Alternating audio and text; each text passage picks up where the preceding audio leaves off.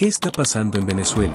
La madrugada del 29 de julio, el Consejo Nacional Electoral de Venezuela proclamó como ganador de las elecciones presidenciales a Nicolás Maduro. Sin embargo, los resultados no fueron reconocidos por la oposición quienes denunciaron un posible fraude. La eventual tercera reelección de Maduro y las denuncias sobre la veracidad de los resultados oficiales llevaron a que, en un comunicado conjunto, ocho países de la región pidieran al gobierno de Maduro realizar un conteo de los votos que permita la verificación de los resultados. Por otro lado, los gobiernos de México, Colombia y Brasil también se han pronunciado felicitando a la población por la elección de un nuevo presidente, anunciando que seguirán vigilantes de la verificación imparcial del proceso.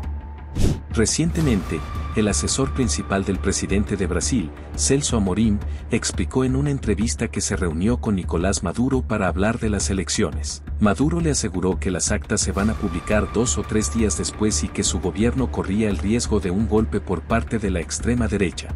Por otro lado, en la última asamblea de la OEA fracasó una resolución que instaba a Venezuela a la publicación inmediata de las actas. El presidente Petro de Colombia, tras algunos días de silencio, también se refirió a este tema. Sostuvo que es el pueblo venezolano quien debe decidir sobre la futura presidencia y no un gobierno extranjero, y pidió mayor transparencia en los votos. En esta misma línea, el mandatario Lula da Silva pidió a Maduro presentar las actas y se abstuvo de reconocer su victoria hasta que éstas no sean revisadas.